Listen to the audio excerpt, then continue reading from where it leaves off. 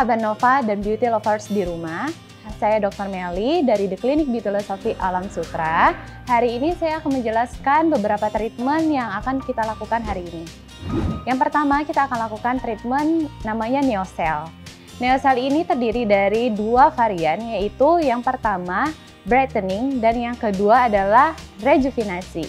Untuk treatment ini sendiri bertujuan untuk apa sih? Yang pertama bertujuan untuk mengangkat sel kulit mati. Yang kedua, untuk uh, menyamarkan noda-noda yang ada di wajah kita. Kemudian yang ketiga, untuk peremajaan kulit dan menghaluskan tekstur kulit. Dan yang keempat, untuk uh, mengikis komedo-komedo uh, yang ada di permukaan kulit kita. Kemudian untuk uh, manfaatnya sendiri biasanya akan uh, setelah treatment akan instant uh, brightening.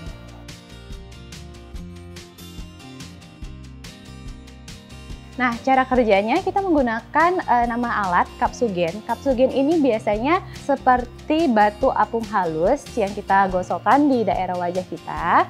Kemudian di dalamnya sudah ada serum. Jadi sambil mengangkat sel kulit mati, kita juga memasukkan serum di dalamnya. Untuk uh, manfaat dan kandungannya itu sendiri dari serumnya itu biasanya untuk membuat kulit kita menjadi lebih fresh, kemudian untuk membuat kulit kita menjadi lebih brightening dan menutrisi kulit kita. Untuk uh, treatment-treatment neocell ini biasanya untuk eh, kulit-kulit uh, yang biasanya lebih kusam atau misalnya tidak cerah, kemudian terlihat lelah atau misalnya ada sedikit wrinkle-wrinkle halus dan dark spot itu bisa kita lakukan treatment ini. Sebenarnya untuk treatment ini sangat aman sekali ya, terutama untuk ibu hamil atau menyusui itu sangat aman karena kita melakukan treatment ini hanya superficial di kulit kita saja. Jadi tidak ada efek samping sendiri untuk uh, bayi atau ibunya.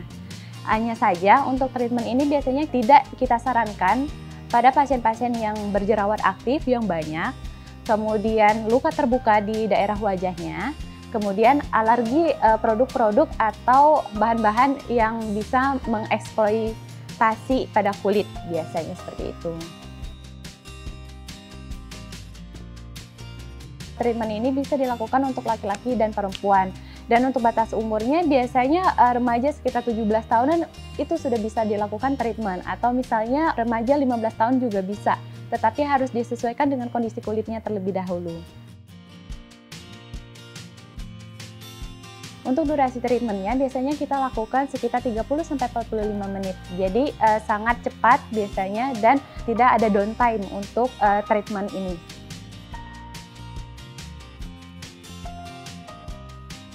Ya, biasanya treatment ini kita sarankan untuk dilakukan pengulangan satu bulan sekali. Karena seperti yang kita ketahui, kulit kita itu mempunyai uh, apa namanya masa pe, uh, uh, pengelupasan biasanya atau apa namanya regenerasi kulit sekitar 28 harian. Jadi oleh karena itu kita sarankan untuk lakukan treatment ini untuk membantu dari proses regenerasi kulit kita itu sendiri.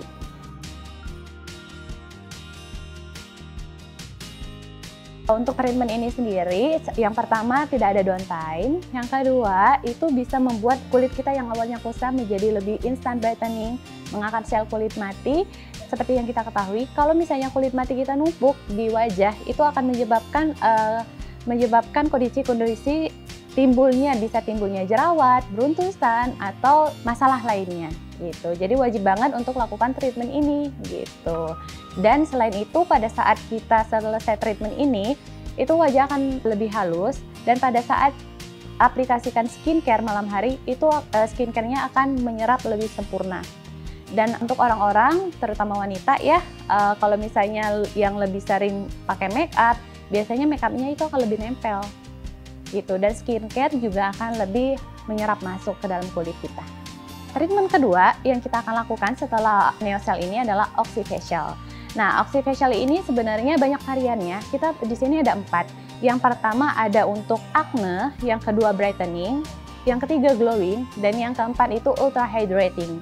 Nah, dari empat ini semuanya mempunyai bahan uh, aktif sendiri ya, punya serumnya, punya uh, manfaat dan tujuannya masing-masing. Tapi secara umumnya oxyfacial ini yang pertama untuk melembabkan kulit, Yang kedua untuk wajah lebih fresh, untuk meniturisi kulit, terutama kulit-kulit yang biasanya agak kasar atau kulit-kulit yang kering itu bagus banget. Jadi terlihat lebih moist. Gitu. Untuk treatment ini biasanya kita sarankan untuk uh, digabung. Jadi setelah neocell kita lanjutkan ke oxyfacial untuk hasil yang lebih maksimal saja gitu dan hasilnya lebih glowing dan lebih bagus biasanya gitu karena kita memasukkan dua uh, langsung dua serum ya dalam uh, dalam waktu yang bersamaan karena di neocell tadi alatnya sudah ada serumnya kemudian kita tambahkan lagi serum dan oksigen dari treatment oxyfacial tadi. Halo sahabat Nova dan Beauty Lovers di rumah, saya Dr. Meli. Untuk treatment yang saya jelaskan tadi, bisa langsung hubungi hotline di The Clinic Beauty Philosophy Alam Sutra. Saya tunggu ya kedatangannya.